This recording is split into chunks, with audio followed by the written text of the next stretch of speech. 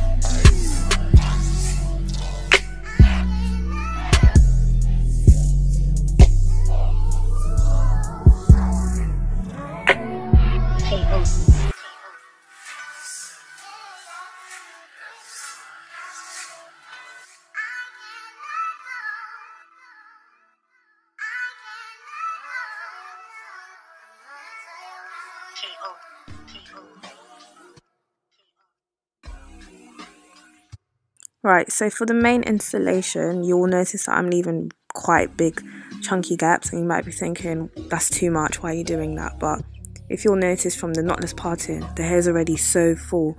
So to prevent the hair from being too full to a ridiculous point, I'm just going to leave bigger gaps and they will be hidden because of the um, fullness and volume of the hair.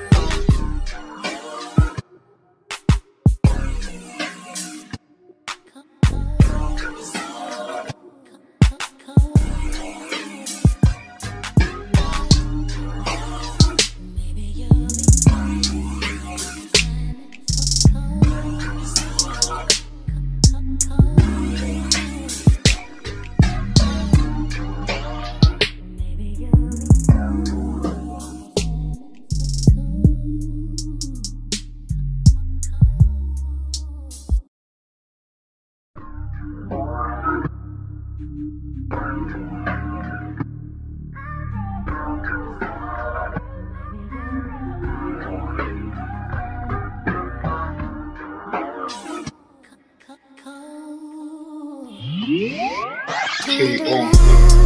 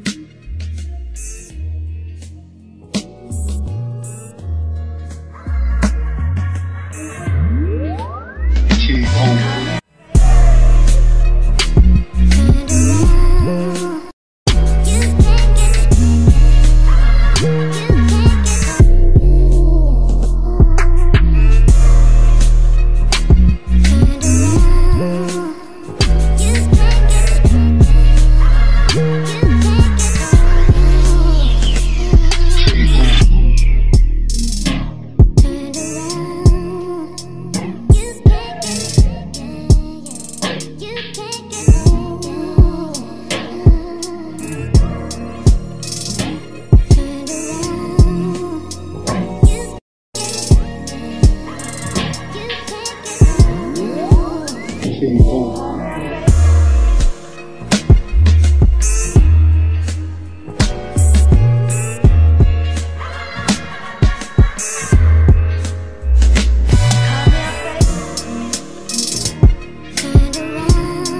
Okay, so now we need to get this big mane into a cute tapered fro.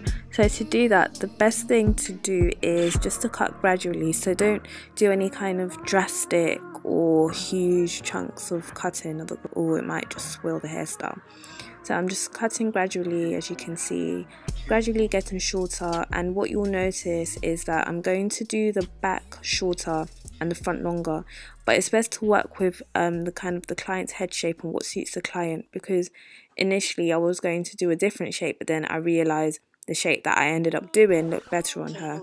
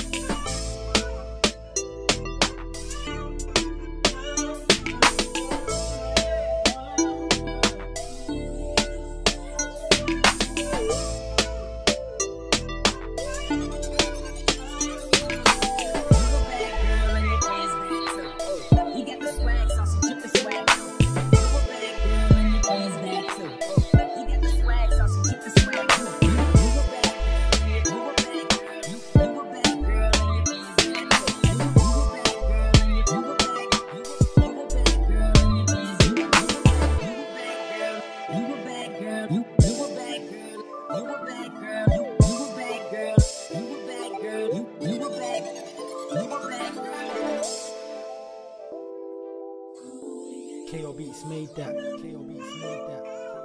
You were back. You were you were back. KO Beats made that.